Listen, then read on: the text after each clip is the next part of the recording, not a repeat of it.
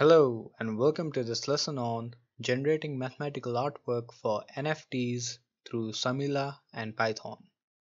Today, non-fungible tokens or NFTs are one of the most talked about topics in the crypto world. In light to this, this lesson covers how you can make actual artworks using mathematics through an open source Python package called Samila. So I stumbled upon this package today morning and when I tried it out I thought the results were quite impressive. So the concept behind what Samila is based upon is simple to understand. That is, when you transform a square-shaped space from the Cartesian coordinate system to any other arbitrary coordinate system, you generate a plot that feels like art, as shown over here. So let us get started by first installing and importing Samila in Python and then we'll move on to creating these artworks. You can install Samila using the Python package manager which is pip.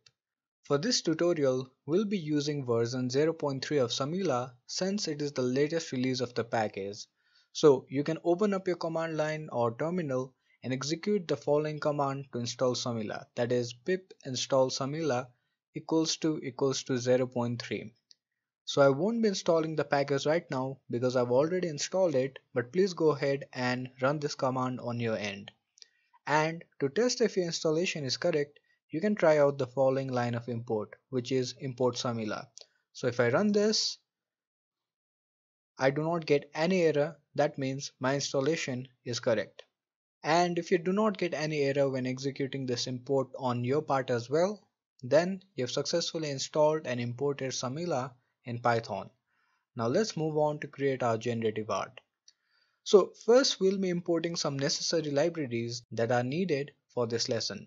We'll import the random library to generate random values. We'll import the math library to use mathematical values.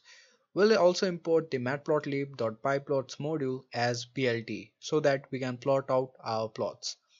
Then we're importing two different classes which is generative image and projection from the Samila library. So we do not have to import the entire library itself. We can just import these two things and we can get started. So as I've told, Samila performs transformations on a square-shaped Cartesian coordinate system. So that means for the transformations, we need two different mathematical functions for our x-axis values and our y-axis values to be plotted out. So for the same, I'm creating two different functions over here according to Samila's GitHub example and you do not have to worry about what these functions do. It's just a simple mathematical function. You can write your own as well. But here you have to note that we are passing two different values x and y. So I'll show you how these two functions are used in just a short while but do understand that this is the generic way of writing two functions to pass into Samila. Now let me import all of these libraries by running this cell and also initialize these two functions f1 and f2 by running this cell as well. Now that we have two functions ready, we simply use the generative image class and its methods generate and plot to create generative art. Note that we will dive into how these values are generated and plotted by looking at the actual code behind the two methods later down in this tutorial. Hopefully by then you will be able to contribute to Samila on your own and make the library even better. But for now, let us simply see what kind of art Samila can generate. So first I'm setting a default seed for generating random values. So I'll run this. And now with these three lines of code, I'm creating our generative art. So the first line of code is z equals to generative image f1, f2. Here we are initializing an object called as z from the class generative image and we're passing in our two functions that we've initialized earlier as our parameters which are f1 and f2. So once the object g is initialized through this line of code, we call the generate method off of the object and we pass in the seed which we kept for our random value generator. Then we plot out the values that get generated through the generate method by simply calling the plot method and specifying the size of the plot that we want. So if I run all of these three lines of code, this will take a little while but not very long. Here you can see the plot that we've created. So to create this, all we did was initialize two different functions that dictate the transformations for the square subspace in the Cartesian system. So if we change the functions over here, let's say I'll put this to y to the power of 6 and x to the power of 1 and if I initialize it again and again if I run these three lines of code you see that we get a different kind of plot and the plot is dictated by the functions that we are defining in the first place. So I'll just revert it back to what it was so we can continue on with the lesson. Okay, great. So now that we have our original plot back, you can also specify the projection that you want during plotting. So here we have the plot method and now I'm passing a different parameter called projection and I'm setting its value as projection.polar Remember we had imported projection a while ago. So if I run this, then the plot will look different because we're setting our projection to be in the polar coordinate system. Also, you can specify a new range for your square subspace that Samila initializes behind the wood to transform. So the default value for the square shape space is minus pi to pi with a step of 0.01 but during generate, you can also specify a different range. So as before, I'm initializing an object z using our generative image class that Samila provides and passing in the functions f1 and f2 during initialization. Then during the generate method, I'm passing in different parameters for the start, step and stop. So this means the square shape space that we initially create is now a little bit different than what it is by default. So once this is done, we again call the plot method from our object and pass in the size of the plot. So if I run all of these lines of code again, you can see that we now have a different kind of plot made. Finally, you can also add color to the generated artwork. So to do that, you just have to specify the color parameter and the bg color parameter during the plotting. So here I'm specifying the color as yellow and the background color or bg color as black and I'm setting the projection to be polar and the plot size to be 8 by 8. So if I run this line of code, you can see that we now have something that is purely generated through mathematical transformations. So this is the capability of Samila. Now in order to save the artworks that you have made using Samila, you can use the save underscore image method from the object itself which is z in this case so here I'm just calling the save underscore image method from z which is our object and I'm passing in the path where I want the file to be stored at so the file address or file underscore ADR parameter is being specified as myart.png so the path from where I'm running this Jupyter notebook a file called myart.png will be created when I'll run this line of code. So I'll run this and the artwork has been saved. You can also use the depth parameter to save a higher resolution picture. So I'm specifying the depth as 5 over here and the other parameter is same. So if I run this again, now I have a higher resolution picture ready. So here's what the artwork looks like full frame. By the way, you can also save your art in NFT storage. NFT storage is a free decentralized storage that lets users store their NFT content and metadata seamlessly and securely with IPFS and Filecoin. I'll put the link in the description for a blog written by Filecoin in order to help you understand more about NFT storage on your own.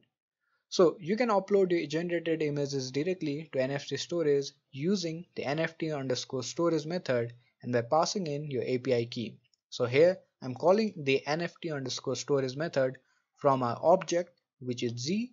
Then for the API key parameter, I simply have to pass in my API key in the form of a string. I won't do this for now, but you can do it on your end by signing in to NFT storage and getting your API key.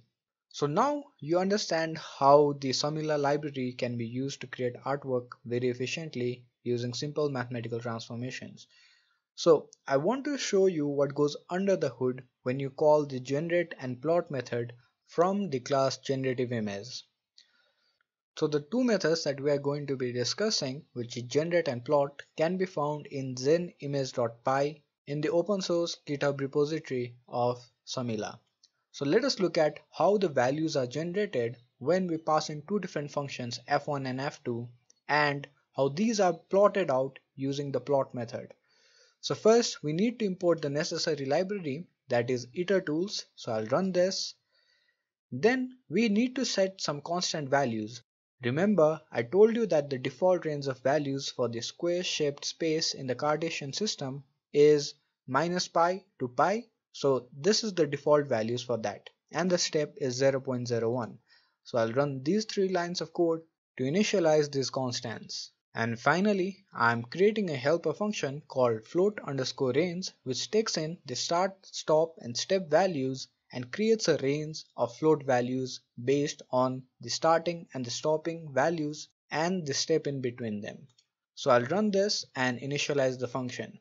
Remember, this is the function that Samila uses in its code base itself. So I'm showing it to you as it is. Now since we need a square shaped space at first, we need to create two different ranges from minus pi to pi with a step of 0.01.